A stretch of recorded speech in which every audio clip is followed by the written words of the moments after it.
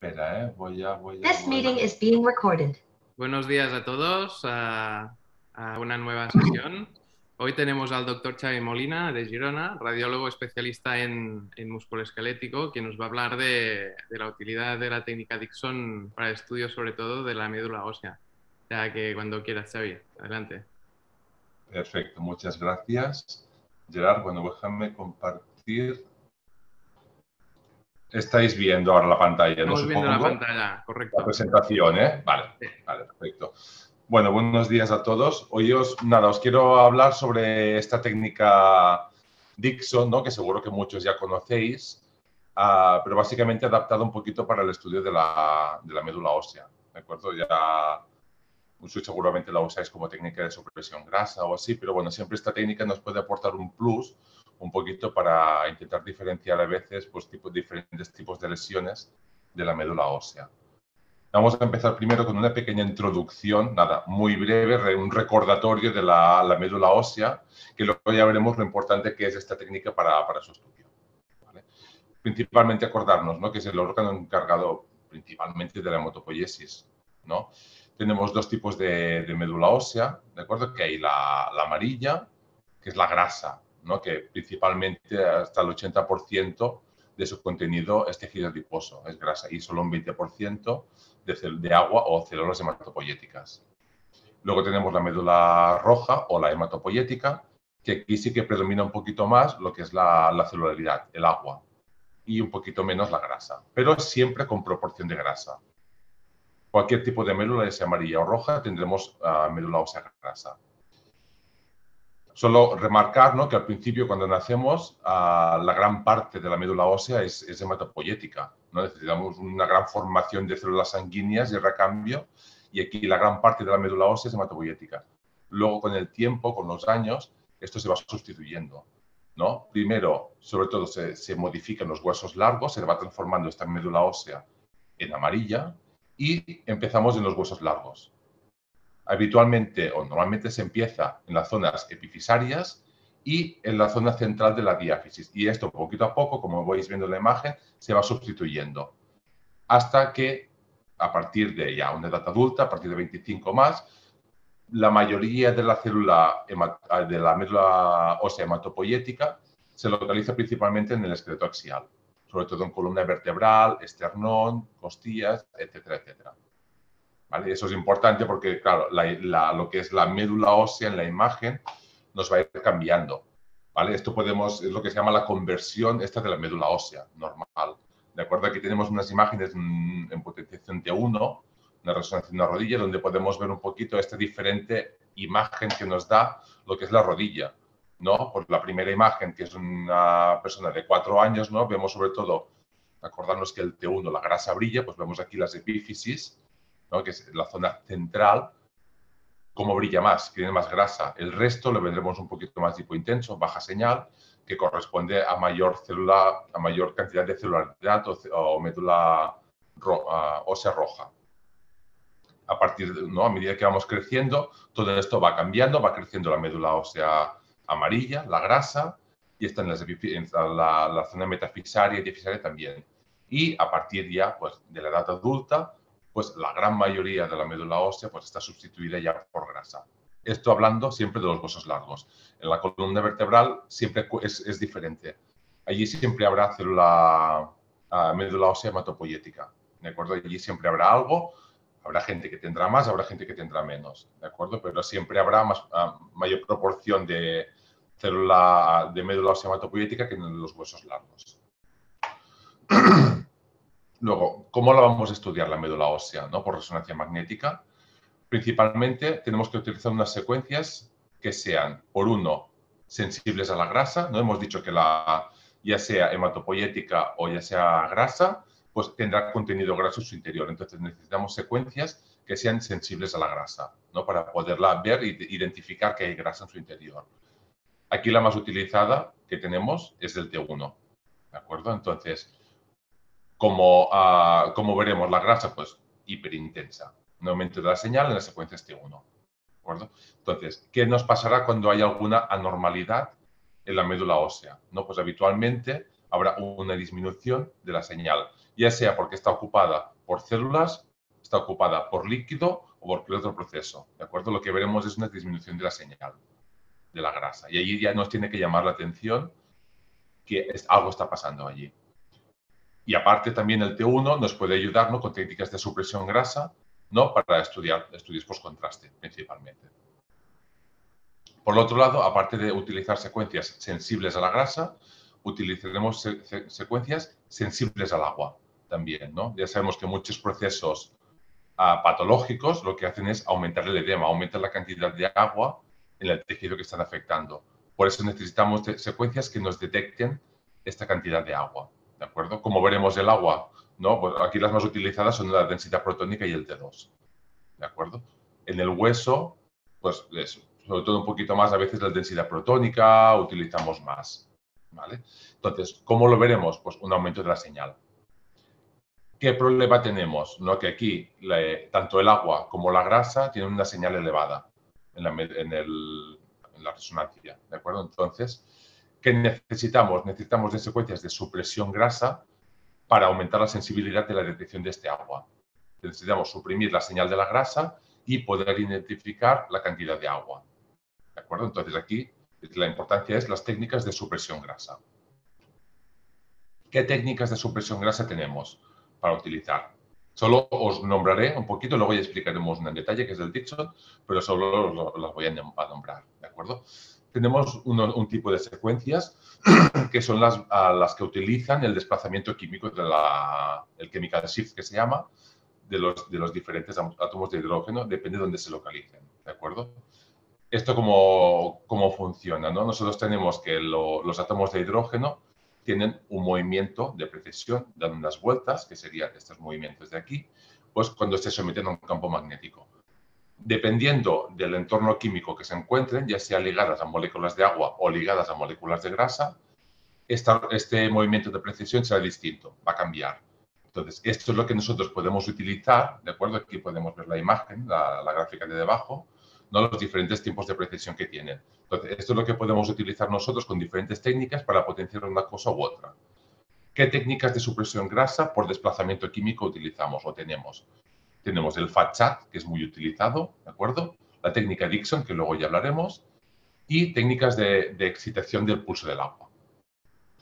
Por otro lado, tenemos técnicas basadas en, un tiempos, en utilización de pulsos de tiempos de inversión-recuperación.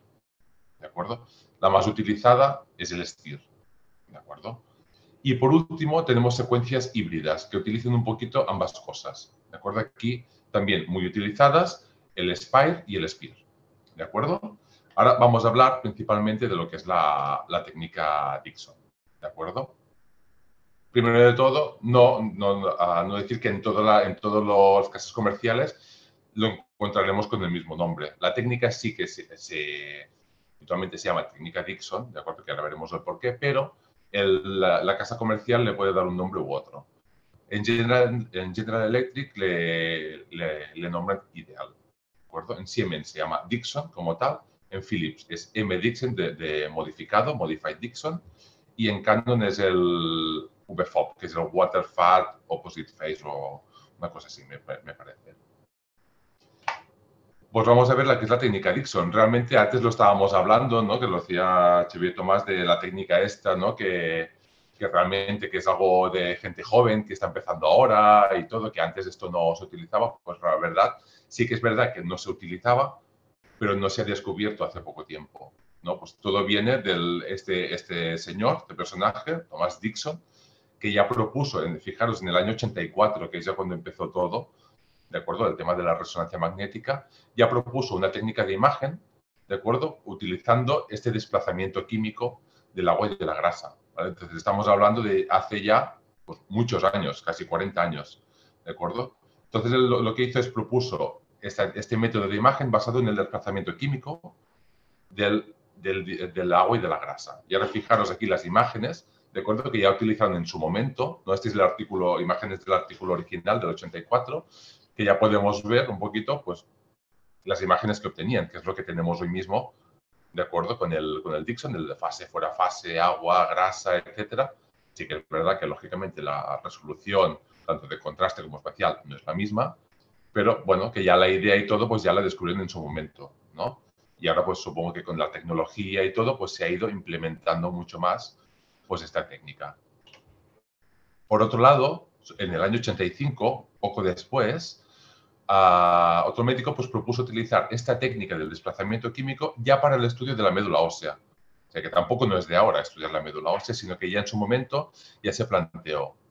¿Qué cogió? Pues cogió voluntarios sanos y pacientes que tenían afectación de la médula ósea, ya sea por procesos de pacientes con osteomielitis, pacientes con afectaciones tumorales, pacientes con diferentes procesos patológicos y básicamente lo que he quiso demostrar es que la técnica Dixon te puede ayudar a diferenciar ¿no? Pues los procesos benignos, médula ósea normal, de procesos malignos, ¿no? con esta sustitución de la grasa, estos cambios de señal. ¿no? Pues realmente ya vieron ¿no? que con esta técnica pues, se podía diferenciar. ¿Qué tenemos? No? Pues el Dixon es una técnica de supresión grasa, como os, como os he hablado antes, basada en este desplazamiento químico de los átomos de hidrógeno, ya sea que estén en las moléculas de agua y en la grasa.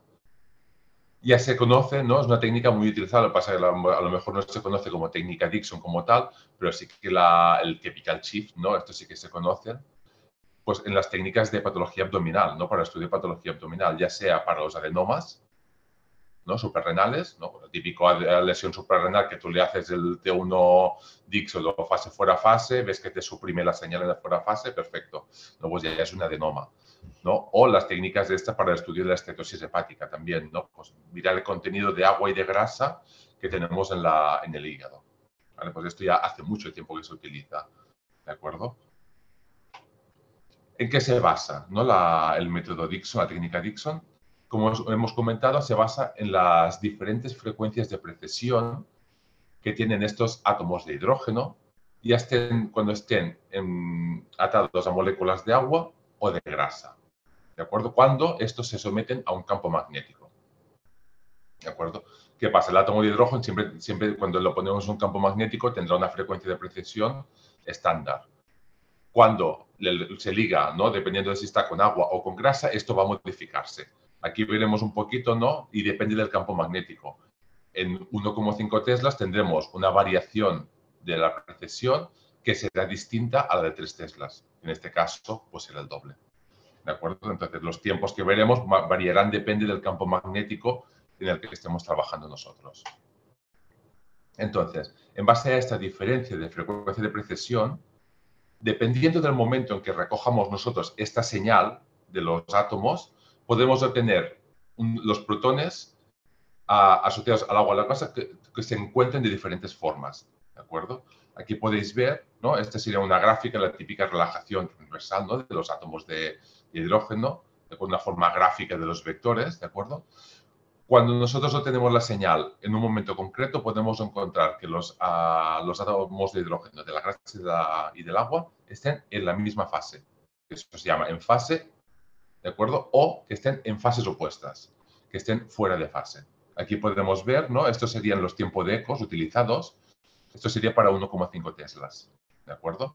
Pues cuando ponemos la excitación nosotros de pulso de excitación, pues estos átomos cogen la energía, se excitan y luego a partir de aquí empiezan a soltarla y a relajarse. A los 2,2 milisegundos obtenemos un eco. Y aquí los átomos de, ya veremos que la grasa y el agua están en fases opuestas. ¿de acuerdo? A la que esperamos 2,2 milisegundos más y cogemos otra señal, otro tiempo de eco. Aquí veremos que los átomos están, los vectores están en fase, otra vez. Este es, ahí esta modificación, ¿de acuerdo? O sea, quedarnos que en, fuera de fase están en fases opuestas y en fase están apuntando hacia el mismo sitio. Y a partir de aquí, ¿qué podemos hacer? ¿No? Tenemos una primera imagen, que es la imagen en fase, ¿no? Cuando hemos cogido esta, esta señal ¿no? en 4,4 segundos, ¿no? en fase, ¿qué tenemos? Es la secuencia básica normal de toda la vida. ¿no? Pues si es un T1 en fase, pues será un T1 turboespineco o espineco normal. ¿no? Pues con su grasa hiperintensa, con su líquido hipointenso. ¿no? Si hay más agua que grasa, pues predominará el agua, pues será un poquito más, será más hipointenso.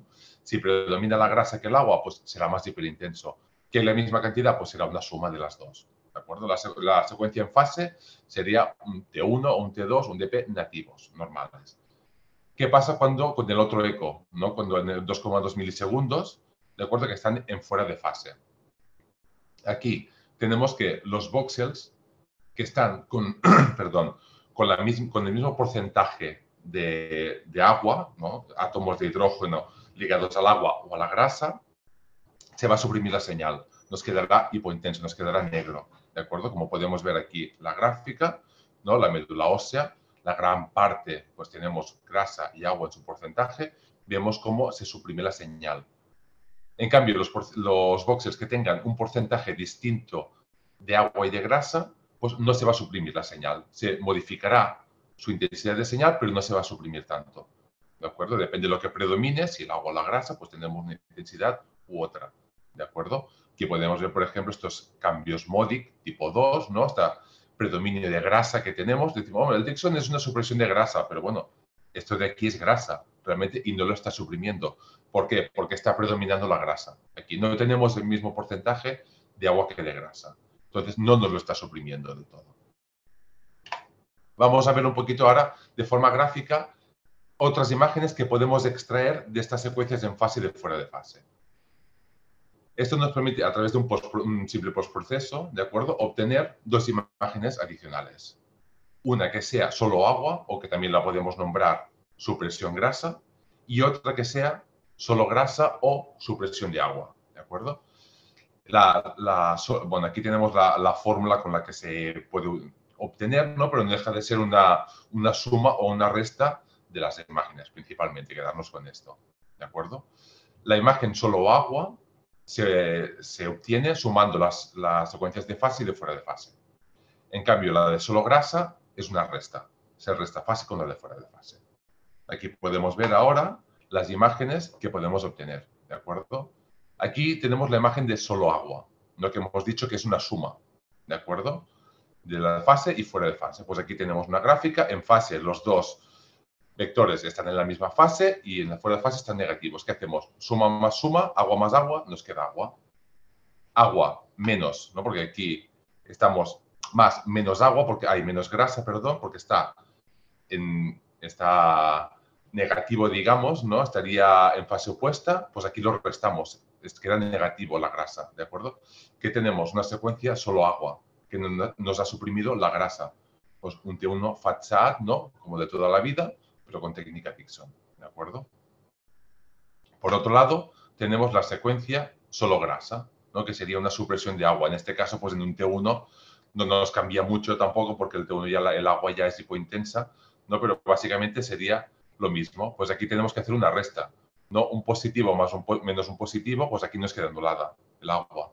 En cambio, la grasa sería grasa menos menos grasa sería una sumatoria aquí. ¿De acuerdo? Pues nos quedaría una grasa positiva, quedaría solo la grasa en este caso. Ventajas que tenemos con la técnica Dixon, ¿de acuerdo? La podemos utilizar en cualquier potenciación, ya sea con T1, T2 o densidad protónica.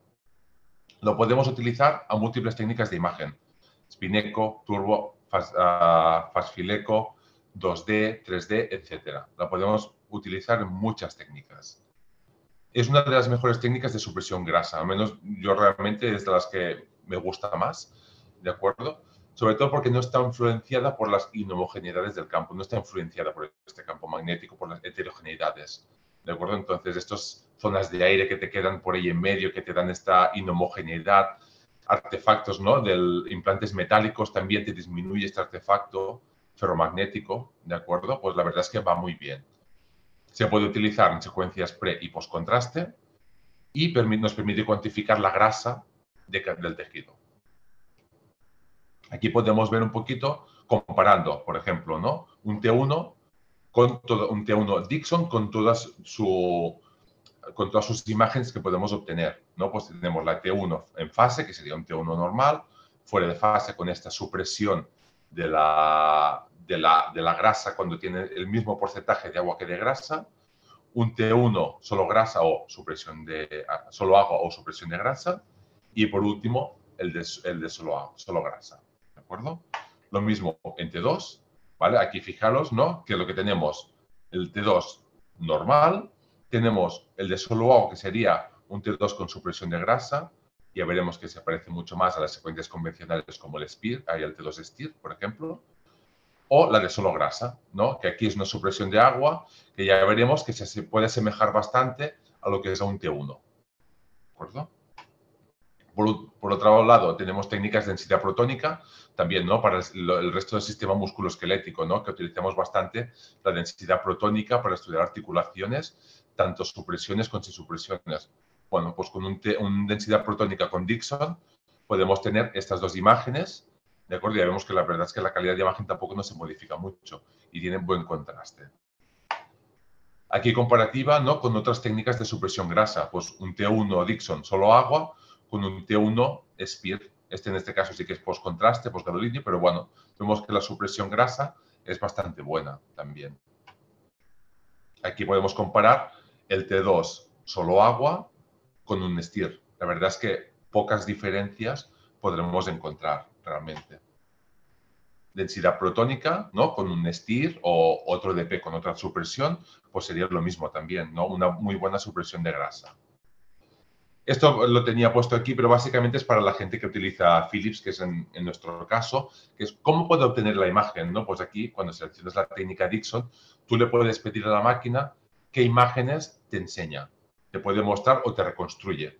Si tú solo quieres un post-contraste, pues obtendrás la imagen en fase y la de solo agua, por ejemplo, ¿no? Con supresión grasa. O no, no, yo quiero para el estudio de lesiones, quiero todas las, todas las imágenes que me puedes dar pues aquí podemos seleccionar un poquito ¿no? las diferentes opciones, que, imágenes que te reconstruyan. No hace falta siempre obtener todas las imágenes. Ahora vamos a hablar pues, en el estudio de la médula ósea, ¿no? ¿Qué, utilidad puede tener? Poquito de introducción, ¿no? Primero saber que las lesiones malignas o por proliferación celular, lo que provocan es una sustitución de, esta médula ósea grasa ah, por células malignas. ¿de acuerdo? Lo que condiciona esta disminución de la grasa o, en este caso, de la señal de la, de la, grasa normal. Esta pérdida de señal es uno de los criterios fundamentales que utilizamos para diferenciar una médula ósea normal de procesos patológicos. Esta caída de señal de la grasa, ¿no? esta hipointensidad de la señal, ya nos hace sospechar. Por tanto, ¿qué veremos? Una pérdida de señal del T1 y una intensidad de señal variable en las secuencias sensibles al líquido. Aquí sí que, bueno, a veces el STI nos puede ayudar un poquito, pero bueno, básicamente es la secuencia de uno, principalmente.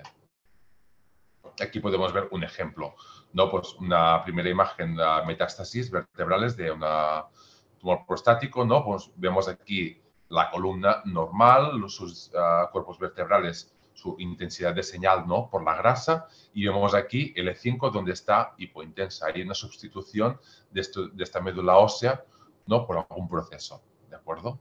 O lo mismo nos puede pasar pues, con el mieloma, ¿no? También, que hace una sustitución de la médula ósea grasa normal por células proliferativas. Pues aquí podemos ver cómo estos cuerpos vertebrales marcados con la flecha, pues ahí está bajada de la señal, ¿de acuerdo? También recordar o remarcar que hay múltiples procesos ¿no? que nos puede dar un aspecto muy parecido, que también provocan una alteración de la señal de la médula ósea o de la grasa, pero que no son procesos ah, malignos en, su caso, ¿de acuerdo? Y que muchas veces nos provocan un reto diagnóstico, ¿de acuerdo? Muchos de ellos, ¿cuáles son? Pues una hiperplasia focal de la médula roja, fracturas vertebrales, ¿no? A veces diferenciar de una patológica no patológica nos puede costar, los hemangiomas atípicos o el edema óseo. Entonces, las lesiones benignas habitualmente tendrán una cantidad variable de grasa, pero algo, algo de grasa casi siempre tendrán, ¿de acuerdo? Aunque sea muy poquita, algo habrá. En cambio, las lesiones malignas, por proliferación celular, lo que hacen es una sustitución de la grasa. Nos eliminan la grasa y se sustituye por células proliferativas. Entonces, aquí en este caso no tendremos células grasas. ¿Cómo lo podemos diferenciar estas lesiones? Mediante la técnica Dixon. Un momento que no me pase. Pues la técnica Dixon nos permite cuantificar la cantidad de grasa mediante las diferentes fases de eh, secuencias de fase y fuera de fase. ¿De acuerdo? Dependiendo de la cantidad de grasa dentro de la lesión, habrá una caída de señal variable en la imagen fuera de fase, cuando la comparamos con la imagen en fase normal. ¿De acuerdo? Entonces, aquí básicamente nos basamos en la secuencia de fase, imagen normal y la de fuera de fase. ¿De acuerdo? Cuando hacemos estas dos secuencias y vemos una lesión ósea, pues podemos poner un ROI, ¿no? un área de interés dentro de la lesión, tanto en la secuencia de fase y de fuera de fase. Y, intentaremos detectar lo que es la caída de la señal que se provoca en la secuencia fuera de fase. ¿De acuerdo? Entonces, aquí veremos, ¿no? se hace un ratio, ¿no? Podemos tener un ratio o un porcentaje. Aquí, si tenemos, ah, podemos tener un ratio de caída de la intensidad de la señal, Dividiendo esta secuencia de fuera de fase con la de fase. O un porcentaje de caída de señal. Y ahora veremos aquí un poquito los procesos malignos, cómo los podemos diferenciar. Estos procesos que provocan una sustitución o desplazan la grasa de la médula ósea, es decir, los malignos, tendrán un valor de corte de la, este ratio ¿no? de caída de la intensidad de la señal mayor de 0,8 o un porcentaje de caída de señal inferior al 20%. Es decir, no nos va a caer tanto la, intensidad de la señal, no nos quedará negro, por decirlo de alguna manera, ¿no? en la secuencia fuera de fase. No va a caer tanto la señal como en otros procesos que sí que tengan grasa. Por contra, estos procesos que no sustituyen la médula ósea del todo, ¿no? los procesos benignos, mostrarán una caída de la señal pues, inferior a 0,8 y un porcentaje de caída de señal mayor al 20%. Nos quedará más negro ¿no? que en procesos malignos. ¿De acuerdo? Esta, tiene una, sensibilidad bastante elevada y especificidad también. Aquí podemos ver, comparando, estas son las referencias bibliográficas, ¿de acuerdo? Que he ido utilizando también, donde podemos ver, pues en algunos casos, ¿no? Cómo, cómo lo utilizan, ¿no?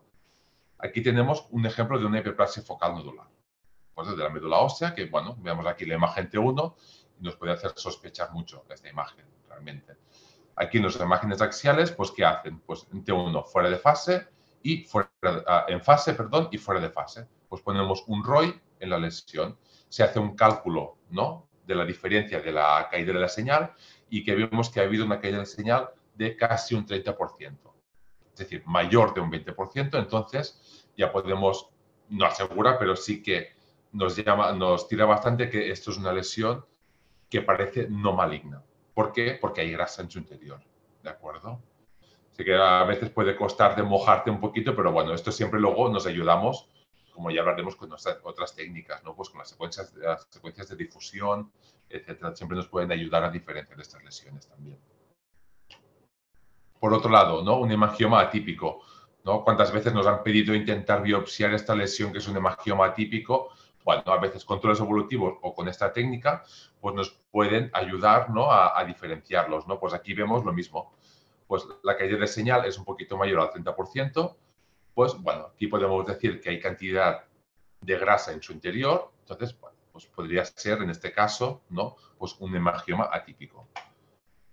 Otra lesión, ¿no? Vemos una sustitución de la médula ósea grasa en este cuerpo vertebral y aquí la caída de la señal, ¿no? Pues vemos que es inferior al 20%. No ha caído tanto la señal, no se modifica tanto la imagen de fase fuera de fase. Pues aquí ya nos tiene que llamar más la atención, ¿de acuerdo?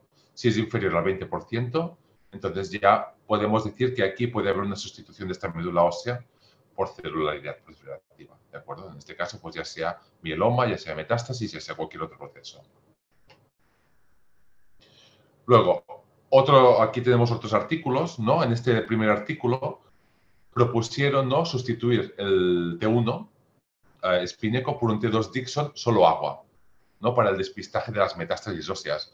Como hemos visto al principio cuando os enseñado las diferentes imágenes, que el, el T2 Dixon solo grasa es una supresión de agua. Entonces, bueno, como el T1 la grasa brilla y el, y el agua es hipointensa, en el T2 la grasa brilla y si encima le suprimimos el agua, bueno, pues sería una secuencia bastante parecida a la, realmente al, T1, ¿no? Y bueno, estudiaron una serie de pacientes y la verdad es que no obtuvieron bastantes buenos resultados, realmente. Y por otro lado, en, en este otro estudio, propusieron realizar las resonancias de cuerpo entero en pacientes con mieloma, utilizando solo el T1 Dixon, pre-post-contraste más la difusión solo para el estudio de estos pacientes, no utilizando esta diferencia de T1 fase fuera de fase, ¿no? Para diferenciar las lesiones, pues realmente, bueno, obtuvieron unos resultados, las lesiones identificaron las mismas realmente, ¿no? No se dejaron ninguna lesión. Entonces, bueno, no es una mala idea.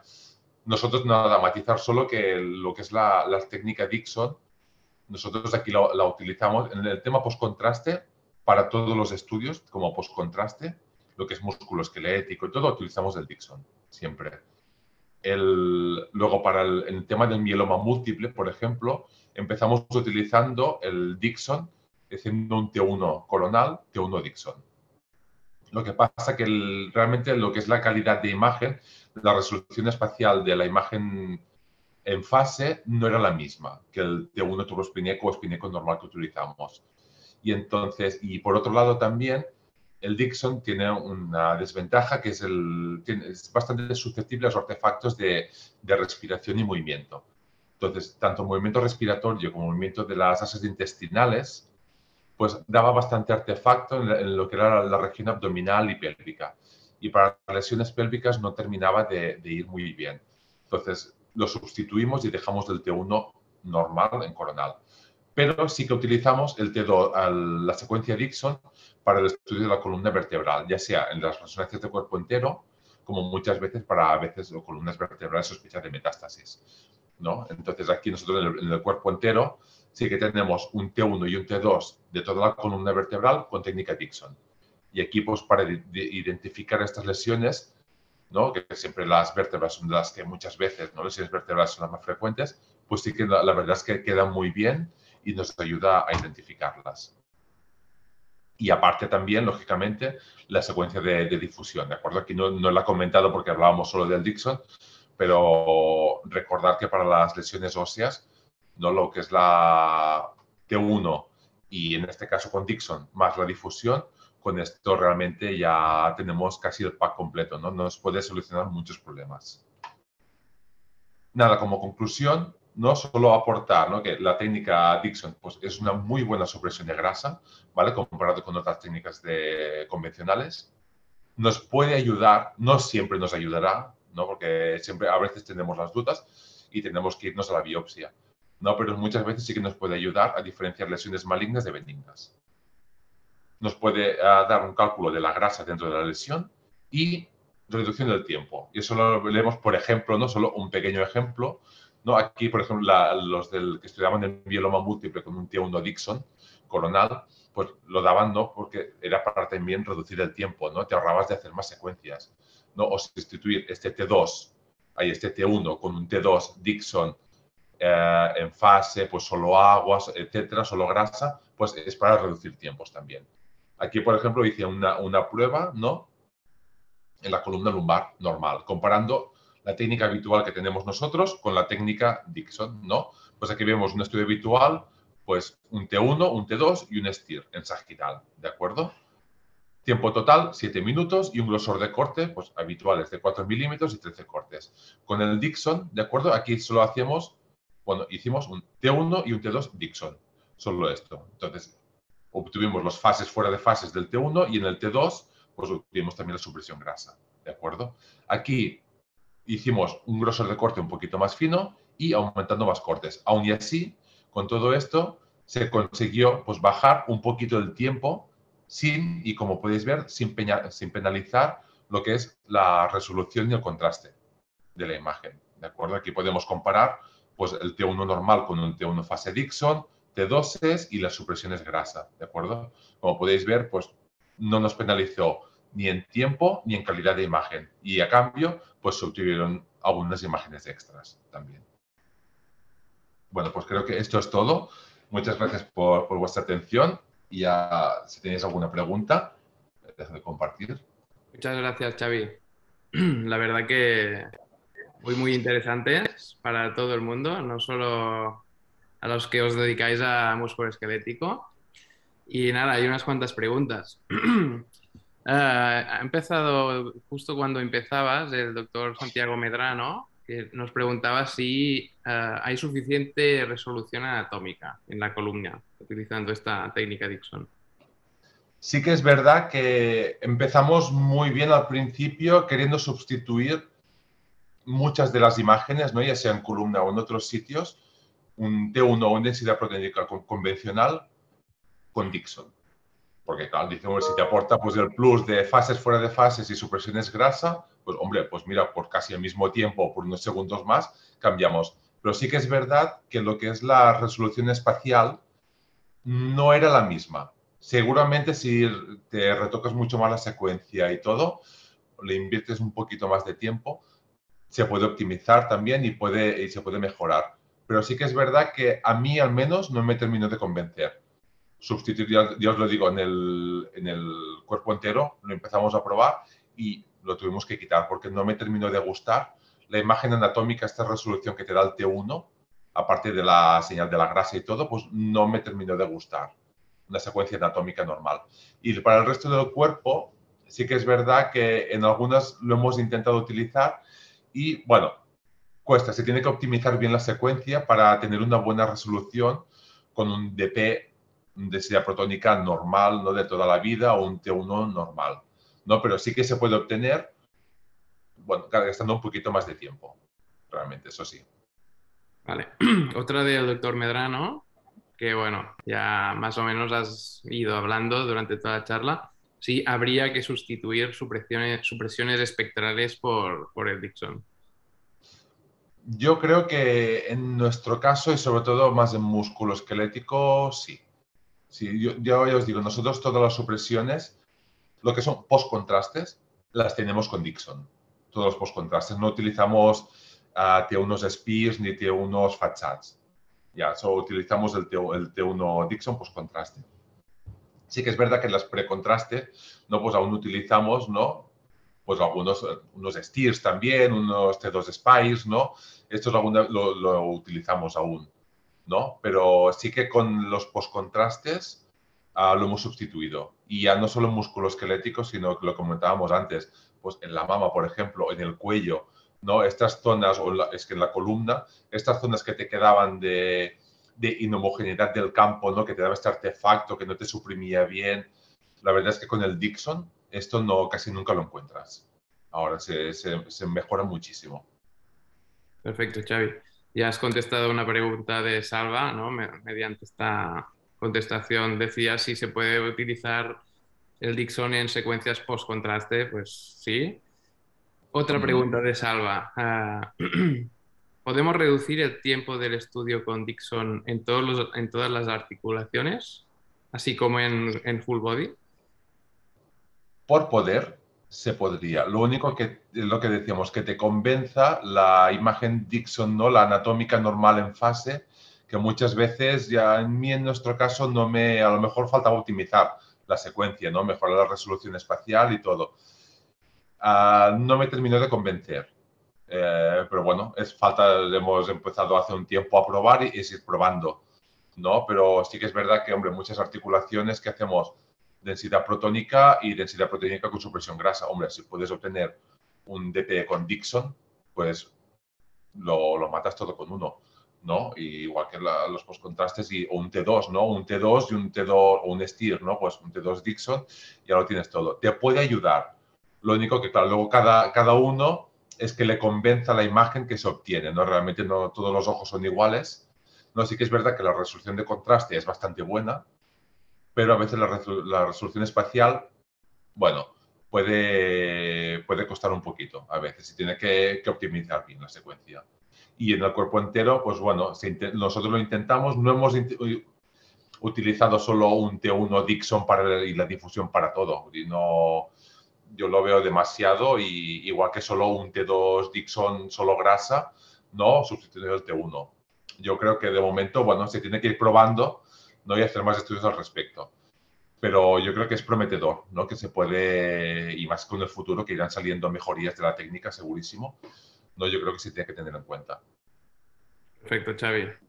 Ah, aquí hay dos preguntas que ya están contestadas, creo, una del doctor Pedraza y otra del doctor Pineda, que te, bueno, comentan si utilizas muy a menudo ¿no? la, cuantificación de las imágenes en secuencias Dixon, dice Salva, y el Víctor también, si utilizas la cuantificación de la variación de intensidad de señal que has contestado, ¿no? que sirve para para diferenciar entre posibles lesiones benignas o malignas. ¿La utilizas muy a menudo? Sí, cuando, cuando en el protocolo habitual no utilizamos el Dixon solo en el, en el cuerpo entero para el despistaje de mieloma, estudio de mieloma. Allí sí. Entonces, sí que es verdad, cuando ya lo tienes claro, no porque tienes el T1, tienes la difusión, todo, y ya lo tienes, tienes muchas lesiones y es un paciente con diagnóstico de médula ósea de mieloma, a veces, bueno, no te hace falta, pero puedes mirarlo. Pero algunas veces, ¿no? Que dice, hombre, pues mira, este paciente que sospecha en algo, pues añádeme un Dixon no, pues sí que cuantificándolo, pues muchas veces, hombre, pues mira, no me suprime tanto, me suprime la señal bastante, ¿no? Un caída más del 20%, por ejemplo. Pues, pues, ya puede ser que no sea maligna la lesión. Pues mira, más que biopsiarla, ¿por qué no le hacemos un control evolutivo, ¿no? En el tiempo, a ver cómo va. O mira, pues tengo la duda al final, igualmente biopsiamos. Pero sí que cuando utilizo la técnica Dixon esta, sí que acostumbro a utilizar la, la cuantificación de las intensidades de señal. ¿no? porque realmente una, una, ventaja que tiene, una utilidad que tiene esto. Perfecto, Xavi. Ah, también el doctor Pedraza pregunta si ah, podrían ayudar a mejorar aún más la calidad de las secuencias Dixon las, mm, las herramientas de inteligencia artificial que cada vez van a más. Aquí sí que ya esto ya lo, lo desconozco realmente aquí ya no, no te puedo contestar, Salzaba, porque no. Seguramente irán saliendo cosas que nos vayan mejorando hasta con las reconstrucciones de las imágenes, obteniendo más, más datos cualitativos, cuantitativos, todo esto, ¿no? Pero ahora mismo no, no tengo datos para contestar, no, no. Vale, después hay otra pregunta o un comentario de Gerard Blasco, pero está cortado por la mitad. Mm, dice que la grasa da mucha señal y cuando se suprime debe penalizar la resolución espacial. Ah, vale, supongo que está contestando un poquito el por qué la, esta resolución, ¿no? La resolución espacial no es la misma con un Gibson que con un T1 espineco, turbo espineco convencional. Eso ya son cosas más técnicas que lógicamente Gerard seguro que no... Gerard también es un experto en el tema. sí, sí. Bueno, pues eh, esto es todo, no hay más preguntas. la verdad que una charla de lo más interesante, Xavi. no sé si, alguien de... Yo quería... Xavi Tomás, ¿tienes algún comentario, por ejemplo? Sí, yo quería felicitar a Xavi porque nos ha explicado muy bien todas las secuencias Dixon y la verdad es que, me parece que es, que es realmente complejo eh, explicar eso de una forma como lo has hecho tan sencilla. O sea, es, difícil explicar. No, no, es verdad. sí, no. O sea que te felicito porque has conseguido explicar algo complejo de una forma sencilla y eso es muy difícil. O sea que en primer lugar felicitaciones por eso y en segundo lugar, bueno, por las aportaciones que has hecho prácticas, ¿no? Cuando podemos utilizar las secuencias Dixon que realmente están, están infrautilizadas. ¿eh? O sea, nos, nos vamos incorporando pero, pero bueno, por, algún tema, como tú has dicho, con la resolución espacial o, por ejemplo, las secuencias de cuerpo entero, etcétera, pues todavía nos puede que en cuenta para, para otras, otras cosas, como por ejemplo, pues esto, ¿no? Las, no sé, pues la secuencia facha T1 clásica, eh, pensar, oye, ¿vale la pena hacer esto? ¿Hacemos, hacemos un, T2 eh, Dixon, un T1 Dixon? ¿Lo tenéis muy incorporado, Xavi, en la, por ejemplo, en el músculo esquelético? ¿En vuestros protocolos habéis cambiado mucho las secuencias a partir de, vuestro entusiasmo Dixon, digamos? Las, las secuencias convencionales uh, precontraste lo empezamos a hacer. Lo único que es eso que le terminaba este plus de resolución espacial, que no, no era lo mismo.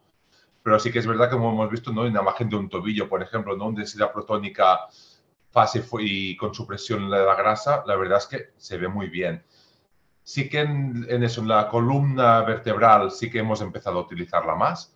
Cuerpo entero ya lo, tenemos establecido allí. ¿Vale? Y en otras, bueno, pues es un poquito... Aún no está, está eh, protocolizado del todo, no lo hemos cambiado en todo, porque es ir probando. Primero que a toda la gente le termine de gustar, nos convenza, ¿no? Y que esté bien optimizada la, la secuencia. Pero yo cuando empecé a estudiarlo y a verlo, digo, hombre, pues esto es una ventaja, que con una secuencia poder matarlo todo, supresión, no supresión, la verdad es que parece perfecto. Pero bueno, falta ir retocando un poquito. Además, lo que has, lo que has comentado, ¿no? Del 20%, ¿no? Que siempre esto, esto nos gusta, ¿no? Cuando tienes algún punto de inflexión, pues siempre es más objetivo, claro, te, guías más. Uno, por cierto, uno de los casos que has comentado era, me ha parecido que era, en teoría era maligno, por debajo del 20%, ¿no? Sí, el último, el último sí. El último, sí, lo, daban de, de, maligno. Vale, era ¿pero era un paget? O, o sea, que se había malignizado? No, no, lo no lo decían. Vale, vale, vale. En el artículo no, no, no, no lo decía. y no sabía si es que se había, se había al, al, final no lo, no lo, decían, pero seguramente, pero lo, lo, daban, ¿no? Por la imagen que, ah, esta caída de señal y todo, que podría sugerir, vale, ¿no? Pues reconversión o malignidad. Muy bien. Sí, sí. Pues nada más, por mi parte, muchas gracias y, y por, gracias, por lo que nos has enseñado. Merci.